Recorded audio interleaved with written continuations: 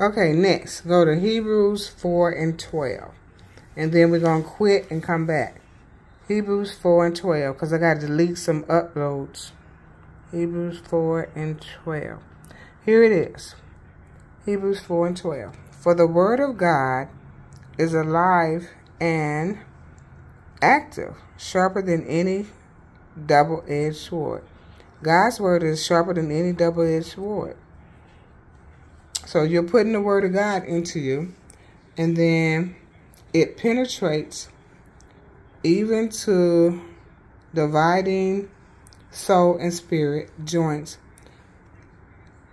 and marrow. It judges the thoughts and attitudes of the heart.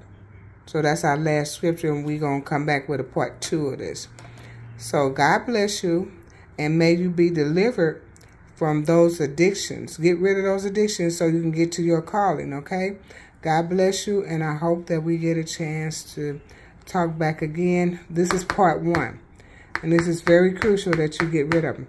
In Jesus' name, amen. So we'll be back, and this is called you um, getting rid of your uh, addictions that are holding you back from your calling. It's keeping you from getting to your calling, so you got to get rid of them. No more playing around with it. You got to rebuke the devil. You got to get rid of it. Uh, God bless you, and I will be back.